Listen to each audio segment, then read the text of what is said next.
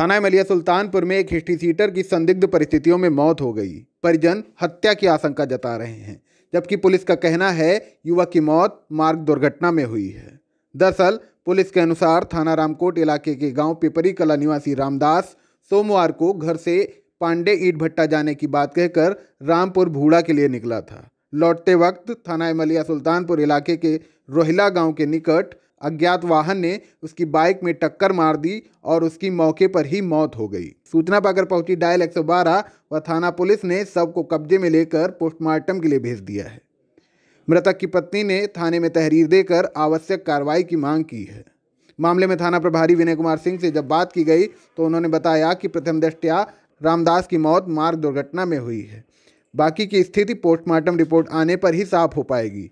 जब रिपोर्ट आएगी तो आवश्यक कार्रवाई की जाएगी। रामदास हमारे चाचा थे। कल बाज़ार गए। बाज़ार जाकर घर आए, सब्ज़ी दे दिया, फिर उनके पर कोई कॉल किया। फिर उसने गए भट्ठे पे। भट्ठे से जब आ रहे थे वापस, तब रोहिला के पास और दुर्घटना हुई। और वहाँ से जब दुर्घटना हो गई, सोचना गाँव में आया, मिला, तब हम लोग गए तो देखें कि सारा सर ये ये कटा हुआ था, पैर में चोट थी, हाथ में चोट थी और उनकी मृत्यु वहाँ पर हो गई थी। तब पुलिस को सूचना दी गई, पुलिस देर में आकर फिर मिट्टी को सील उल कर कर अस्पताल में। पुलिस आई, एक एक लमसम एक डेढ़ घंटा बाद आई। एक डेढ़ घंटा बाद आई पुलिस। अभी कोई कार्रवाई नहीं किया है।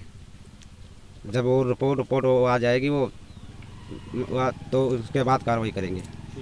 पीएम रिपोर्ट आ जाएगी जो। खबर आपकी नज़र हमारी। देखते रहिए आई इंडिया।